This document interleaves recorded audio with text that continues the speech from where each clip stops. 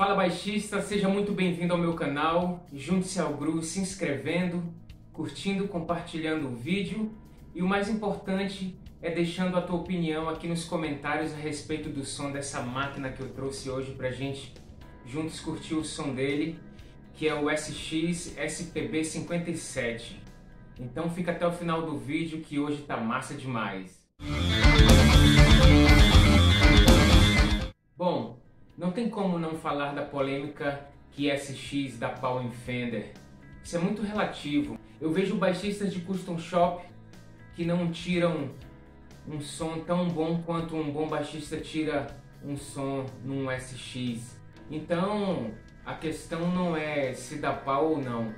A questão é em qual mão o contrabaixo vai estar. Ou seja, tem baixistas e baixistas e tem os bestas que levam a sério esse assunto. Galera, no review de hoje a gente vai dar uma analisada no som desse aqui, que é o SX SPB 57, baseado no Precision Bass do ano 57. É um baixo que tem o corpo em basswood, o braço em maple, escala em maple também. Os, as marcações são em pontos pretos, né, o dot black. O nut ele já ele é em plástico. As ferragens, tanto nas tarraxas quanto na ponte, são vintage tradicionais. E aqui os controles de volume e aqui o controle de agudo e grave. Né? Eu tenho tanto um som instalado que vem muito agudo e tenho um som mais grave que corta totalmente a frequência aguda, deixando ele mais som, o som mais robusto e mais cheio.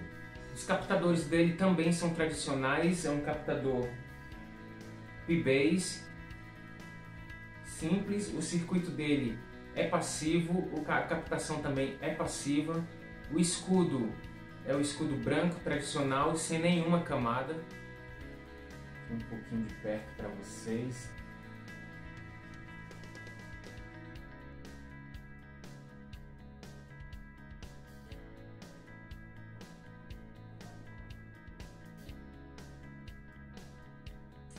Plate dele, ele vem com esse friso aqui no meio do braço, as tarraxas, um ótimo acabamento, é um ótimo instrumento, um instrumento lindaço. Ele é um instrumento que é ótimo para fazer upgrades, que na verdade muitos baixistas compram ele justamente para essa finalidade, que é trocando as tarraxas Pode ser até por um agutô, trocando os captadores, colocando um SPB3 ou qualquer um da categoria SPB, que é o do Steve Harris, Seymour Duncan Basslines. A ponte pode tanto ser uma B10-2 quanto uma agutô, já muda muita coisa. A questão do sustain das cordas, dando mais brilho. Os potenciômetros também. Então, no meu caso, eu, eu pretendo não tunar muito porque ele já me entregou o som que eu queria, então isso já me deixou muito satisfeito. Ah, e blindar também o contrabaixo, que é muito importante para parar os ruídos, os chiados. E vamos de som, que é o que mais importa.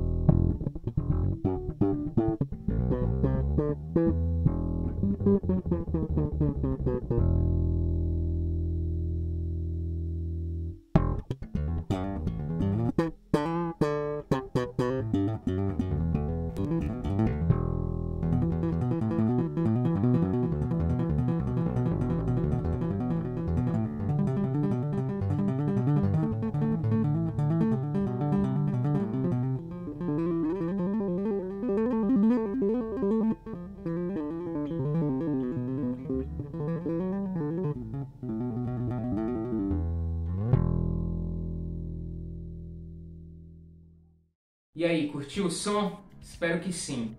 Bom, as minhas considerações finais para este instrumento é que, se tratando de custo-benefício, ele é um dos baixos mais procurado pelos baixistas. Para nós baixistas que não temos condições de pagar nos 7 mil, 9 mil, até 10 mil reais num, num, num Fender, num baixo caro, o dia que a gente escutar o som com os olhos, a marca vai ser relevante. Então, fecha os olhos, testa, sente, escuta o som, sente se realmente é, é, o som que você estava procurando. O importante não é a marca, o importante é o som que você procura. E eu, sinceramente, me encontrei muito nesse contrabaixo. Ele não pesa, ele é um instrumento de 4,2 kg, é um instrumento leve em comparação a outros que eu tive. Então, eu estou muito satisfeito com esse meu SX. Espero que vocês todos tenham gostado do vídeo. Aqui eu deixo meu muito obrigado e até o próximo review. Valeu!